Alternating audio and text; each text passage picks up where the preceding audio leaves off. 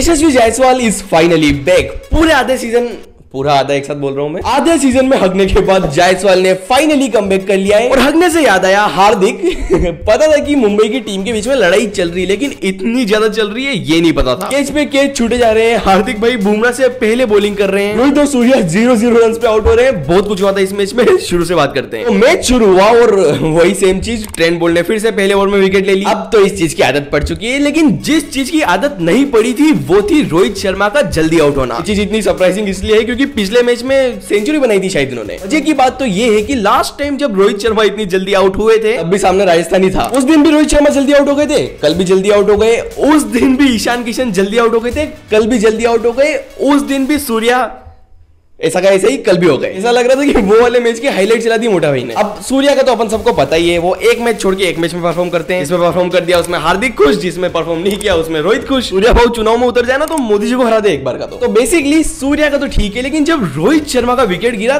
तब मुझे लगा की हाँ यार राजस्थान की बॉलिंग तो बढ़िया है। अब ट्रेंड बोल की तो सब लोग तारीफ़ करते हैं लेकिन संदीप शर्मा टेम अंडररेटेड ट्रेंड बोल ने तो केवल रोहित शर्मा को आउट किया था। इन्होंने ईशान सूर्या और एक दो जनों को तो आउट कर दिया पता नहीं। और स्पेशली वो लास्ट लास्ट ओवर केवल तीन विकेट्स लेके केवल तीन विकेट्स बोल रहा हूँ मैं, केवल तीन रन देके तीन विकेट्स लिए थे उन्होंने। तो बॉलिंग तो तगड़ी है इनकी लेकिन at the same time Mumbai के बैट्समैन भी कम नहीं है भाई। इतनी जल्दी जल्दी विकेट्स गिरने के बाद भी 170 रन बना दिए थे इन्होंने। रीजन तिलक वर्मा और नेहल वदेरा। हाँ लॉर्ड आवेश का तो ऑनरेबल मेंशन में नाम रहेगा ही क्योंकि लॉर्ड के बिना तिलक हो या विलक कोई कुछ नहीं कर पाता। जिस तरीके से ट्रेंड बोल्ट और संदीप शर्मा ने खटाखट खटाखट विकेट लिए थे मुझे लगा था राजस्थान डेढ़ के अंदर ही निपटा देगी इनको। But lord Avesh had other plan इतने रन का है भाई ने कि तिलक वर्मा और वधेरा दोनों की फिफ्टी बन गई। हाँ बधेरा फोर्टी नाइन रन पे आउट हो गया था लेकिन समझ गया अब इन दोनों की फिफ्टी तो ठीक है लेकिन भाई हार्दिक पांड्या थे कल? एकदम आखिरी बैटिंग करने आए थे कल। इतना वेट तो हम लोग एम एस धोनी का नहीं करते जितना इनका करना पड़ रहा था। तो ये तीसरे चौथे नंबर पे आ जाते और कल इनको जब नहीं आना था तो इन्होंने मोहम्मद नबी को भी बैटिंग करने भेज दिया। और फिर जब वो आए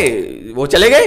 देखना ऐसे फॉर्म के बावजूद अमेरिका घूमने आएगा ये टीम के साथ। अब बैटिंग भले ही झाट बराबर करी हो, लेकिन बॉलिंग बहुत करी है इन्होंने। ध्यान से सुनो बॉलिंग के टाइम पर झाट बराबर बोला है मैंने। एक तो जब इन भाई साहब ने बीच में दो तीन मैचों में बॉलिंग छोड़ दी थी तो वापस क्या ज़रूरत थी आने की? कोई नहीं बोलेगा, रोहित शर्मा की धमकी की वजह से आए हैं। वैसे तो अभी तक शायद पता चल ही गया होगा आपको इसके बारे में, लेकिन अगर नहीं पता है तो मैं आपको बताता हूँ। तो जैसा कि मैंने आपको बताया कि बीच में एक दो मैचों में पांड्या ने बॉलिंग करनी बंद कर दी थी। लेकिन फिर अभी वर्ल्ड कप के लिए एक दो दिन पहले राहुल द्रविड रोहित शर्मा और सिलेक्टर्स के बीच में मीटिंग हुई। अब रोहित शर्मा क्योंकि हार्दिक पांड्या को फेस टू फेस तो बोल नहीं सकते तो उन्होंने उस मीटिंग के थ्रू अनाउंस कर दिया कि अगर हार्दिक पांड्या ने अपनी बॉलिंग पे ध्यान नहीं दिया तो भाई टीम में जगह नहीं बन पाएगी उनकी। बस फिर क्या था? कर दी उन्होंने बॉलिंग शुरू। और आपको तो पता ही है कि हार्दिक पांड्या का ईगो कितना बड़ा है। वो बॉलिंग करने आया तो आया ना जोश में आया कि सीधा डेथ ओवर्स और फ़र्स्ट ओवर में बॉलिंग करने लग गया। हार्दिक भाई ने भी बोला कि बॉलिंग के बारे में बोल रहा हूँ ना आप डायरेक्ट फ़र्स्ट ओवर से बॉलिंग करूँगा मैं। लेकिन फिर वो सारा जोश उस दिन एम एस धोनी ने तीन छक्के मार के खत्म कर दिया। और जो बचा कुचा था, वो कल जोश बटलर ने खत्म कर दिया। ये बात जोश खत्म होने वाली बात इतने पक्के से इसलिए बोल रहा हूँ मैं, क्योंकि वो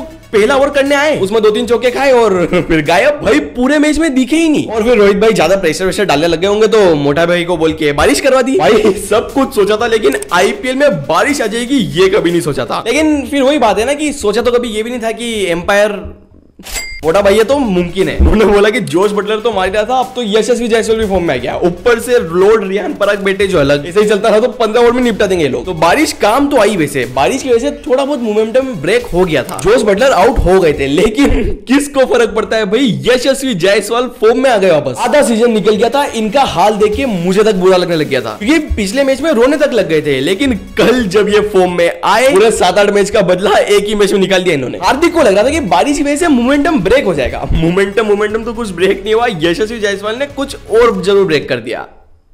इनका कमबैक देख के तो मोटा भाई ने भी पार्टी बदल ली। एक केस तो चलो समझ में आता है। कभी कभी छूट जाता है, लेकिन दो केच सच बता रहा हूँ मैं, जायसवाल तो 50 से ही खुश था सेंचुरी तो मोटा भाई ने करवाई है कल। बाकी इतनी आसानी से भी नहीं बनी थी इनकी सेंचुरी जब ये 95 फाइव रन के आसपास पहुँचे, तब फिर से बारिश शुरू हो गई। उस टाइम पे बस 10-11 रन ही बचे थे तो अगर मैच रुकता तो वो वापस शुरू नहीं होने वाला था। इन्होंने तो किस्मत से बारिश आई नहीं और इनकी सेंचुरी बन गई और मुंबई हार गई।